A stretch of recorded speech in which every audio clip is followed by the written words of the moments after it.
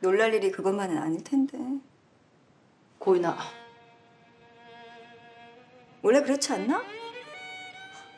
나도 결혼해보니까 그렇더라고. 결혼 전에 천사라고 생각했던 남편이 알고 보니 악마였더라. 아주 surprise. 놀랄 만큼.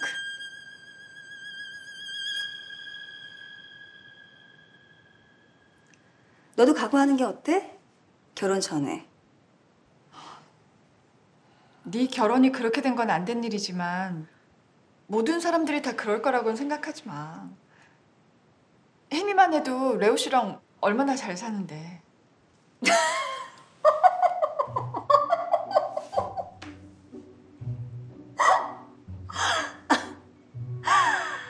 부부가 사이좋게 잘 사는 방법은 하나야.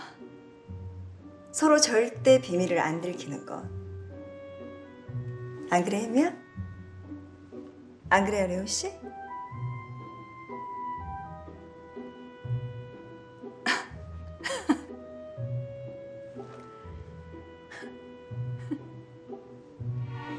아 맞다.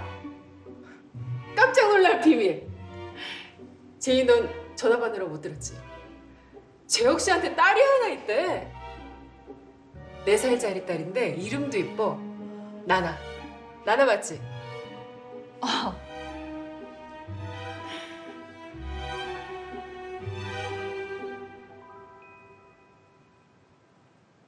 나.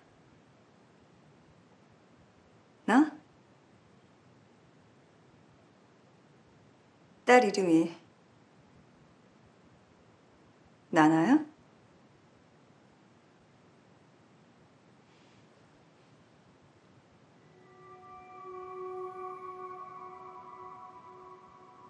축복해줘 제이야.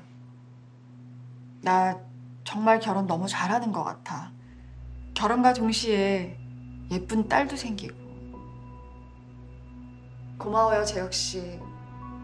그렇게 예쁜 딸 갖게 해줘서. 내가 더 고마워요. 나나 엄마가 되어줘서.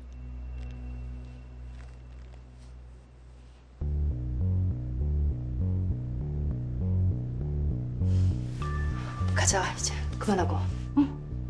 애 엄마는?